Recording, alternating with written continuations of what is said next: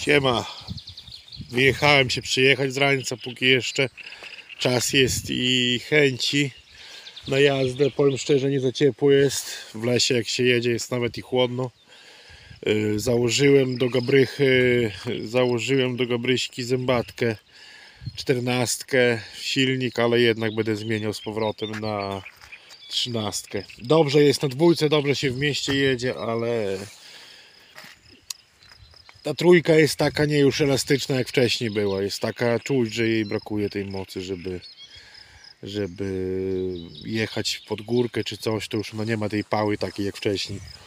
Jednak brakuje tego trochę. Brakuje trochę tej, tej, tej siły dla niej. O, jestem nad takim zalewem w Topiło. Dosyć ciekawe miejsce, fajnie. Widzę, że tutaj zrobili trochę remont, bo zrobili parking dla samochodów, także jest spoko.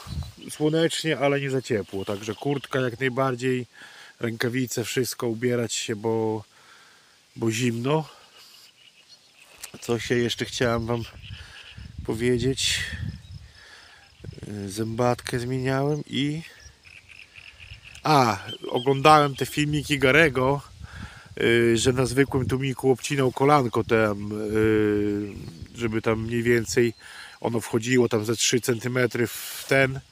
Zrobiłem to. Zrobiłem to jest. y, Na 13 była zajebista poprawa, dlatego właśnie się skusiłem na tą 14 zębatkę, żeby, żeby, kto się mówi, żeby zrobić y, ten, żeby zrobić jej trochę prędkości ale to się zdało na nie bardzo, no.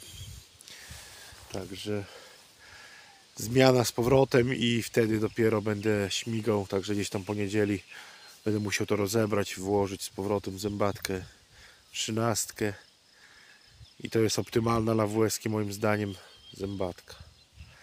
Dobra, nie przedłużając, bo to długo też nie będę, zaraz się zbieram, jadę dalej, jeszcze parę kilometrów na koła wrzucę. O już zaczynam smarkać, jednak jest zimno, no. Niby słonko świeci, ale jest zimno. Dobra, pozdrawiam wszystkich miłego tygodnia, trzymajcie się, cześć.